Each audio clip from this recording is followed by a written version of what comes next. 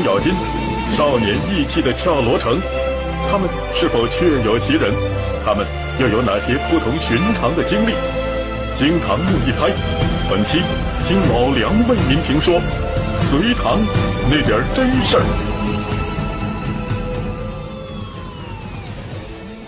这个就是《隋唐演义》里边啊，演李元霸。哎，你看这边呃，请来了王宝强。这个李元霸历史上就没这人，可是，在隋唐里头他顶重要了。为什么呢？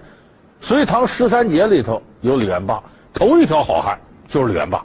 而且李元霸在这里头谁也打不过他，手使一对擂鼓瓮金锤，你看他锤这四平山，打的十八路反王，六十四路烟尘，没有招架之功。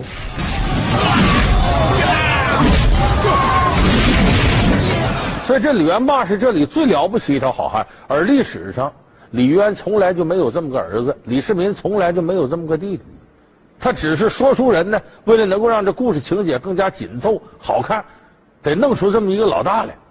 隋唐这个书，其实历来的说书人都喜欢这个书。为什么呢？评书啊，它分长枪袍带、短打公案、神怪鬼狐这么四类。那么说帝帝王将相的，这为长枪袍带；说这个呃打打杀杀的了、破案的了，这为短打公案。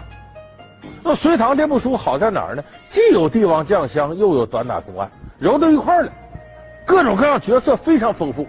所以很多书是非常喜欢隋唐这部书。你看这次《隋唐演义》呢，它的出品人就请来了著名的评书艺术家单田芳先生。单田芳就说：“我们这个作品呐，正宗。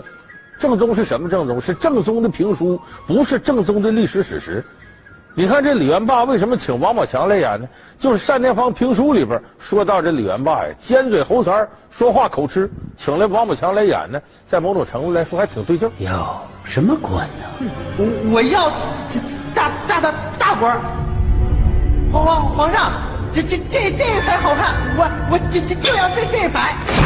其实李元霸呢，不应该叫李元霸，他本来叫李玄霸，哎，就是这个玄学的玄。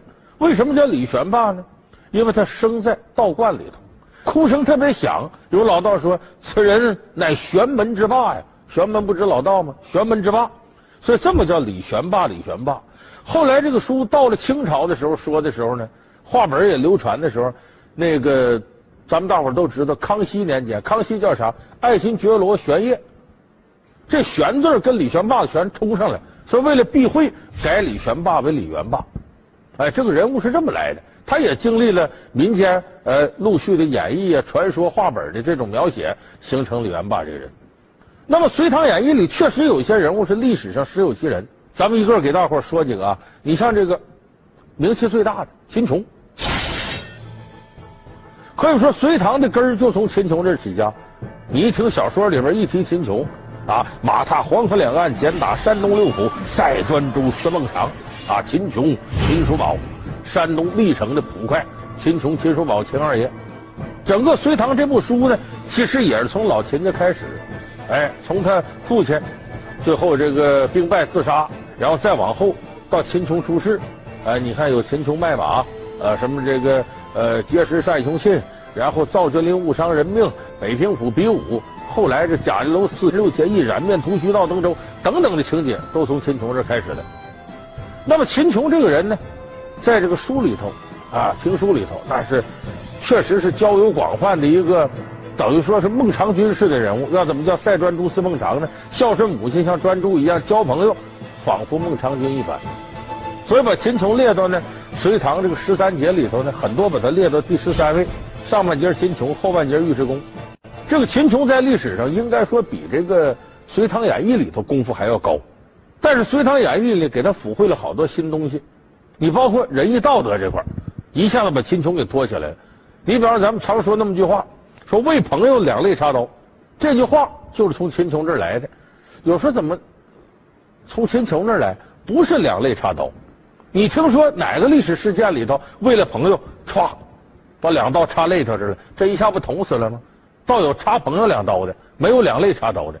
真实的说法是两个。为朋友两肋插刀和两肋插刀，我给你细说说怎么叫两肋插刀。他当初不是这个程咬金、尤俊达结黄杠，结了四十八万两银子。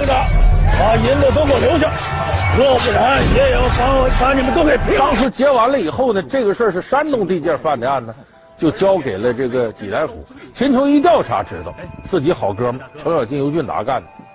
调查完了，他回来，走到一个地方叫两肋庄，这个庄呢，就像人的两个肋头是一排一排房子，叫两肋庄。到了这两肋庄呢，秦琼就琢磨，眼前有两条道岔道，一条道呢是回济南府，回济南府那就是复命去，告诉我案子破了，你们抓他去吧，抓程咬金去。另一条道是奔登州，登州谁呢？督办黄冈这个事情的靠山王杨林在哪儿。这个时候，秦琼就琢磨了：我要回济南府，等于把朋友出卖了。我宁可不要我这命，也得保朋友。所以干脆吧，破不了这案，我也是一死。索性呢，染面涂须闹登州，到登州顶缸去。这事儿就算我干的。怎么叫染面涂须呢？都说接黄杠这程咬金呢，蓝脸红胡子。哎，我就把脸，秦琼大黄脸嘛，把脸涂成蓝的。把胡子染成红的，这叫染面涂须闹登州。我到这自首去，都我干的。杨林把他就给抓住了吗？你几个胆子，竟然敢在老夫面前撒野！拿下！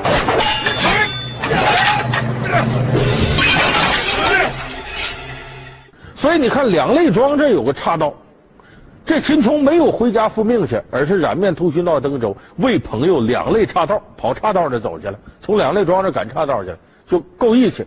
这是一种说法，第二种两肋插刀，眼泪的泪，就是这杨林把秦琼抓住了，一琢磨，这人主动来投案了，说他干的，估计是顶缸，所以这杨林呢，就套秦琼的话说：“壮士啊，我知道你呀，有不得已的苦衷，你恐怕是来顶罪的，可是你顶罪全了朋友义气，你想没想过，你家中有年届八十高堂老母啊，你这一死。”高堂老母何人奉养？势必无比凄惨。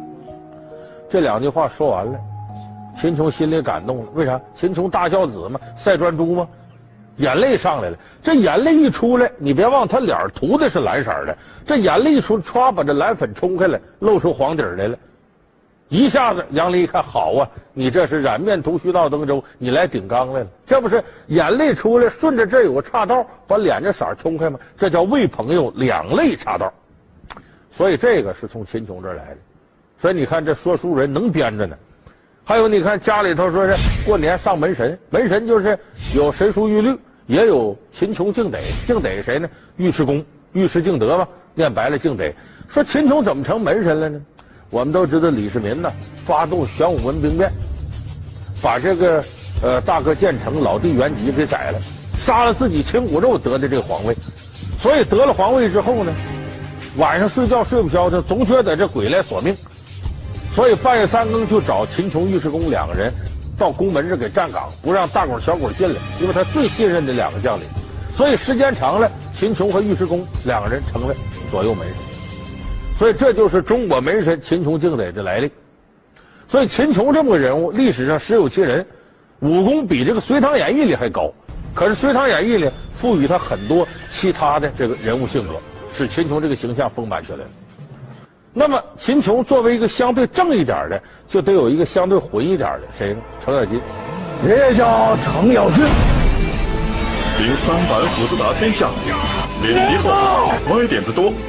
正史中的程咬金是否果真如此？足智多谋、能掐会算的徐茂公，难道真的只是草头军师？五路绿林盟主单雄信又是否真的侠肝义胆、忠义两全？惊堂木一拍，听老梁继续为您评说隋唐那点真事儿。程咬金本名叫程知解，历史上也是有其人。他呢，跟秦琼他们一块打仗，跟着李世民。其实，在正史上描写的程咬金平平无奇，就普通一个将领。可是，在书里边呢，把他戏剧化了，把他当做个莽汉子，粗中有细。你看，使个八卦宣花斧，一辈子就会四招。一道门啊，小鬼儿呀，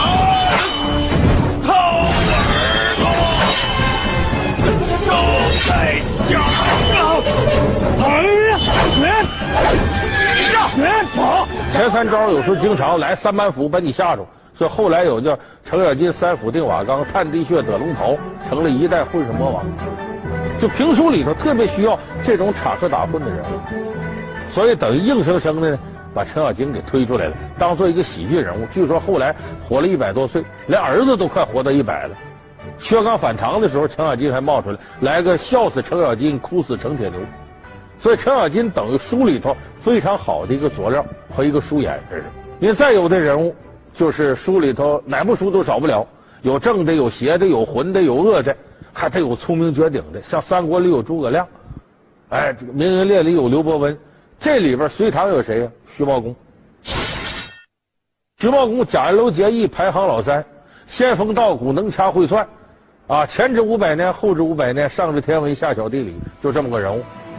在这里头呢，等于帮助这个瓦岗寨，后来又帮助李密啊，干了好多事儿，后来又帮助李世民。那么历史上真实的徐茂公。应该说，并不像演义里写这样。他确实也足智多谋，但徐茂公立功，不是在隋的时候，而在唐的时候。大唐天下平定之后，他帮助李世民南征北战，立了很多战功，而且确实也是运筹帷幄、决胜千里的人物。他对这个隋重到什么程度呢？后来李世民呢，赐姓他为李，就不姓徐了，改姓李了。他很有名的有那么几个事儿，一个是李世民死的时候。故意把徐茂公啥官都给撸了，贬成平民。他为什么要这样呢？他跟自己儿子唐高宗李治继位这位说：“说你上来呀，非得倚重徐茂公不可。可是你对他一点恩德没有，他不一定服气，不一定真心疼你。这样，我把这所有官故意都撸了，你上来再让他官复原职，他不就感恩戴德了吗？这是历史上记载的非常有名的一种用人策略。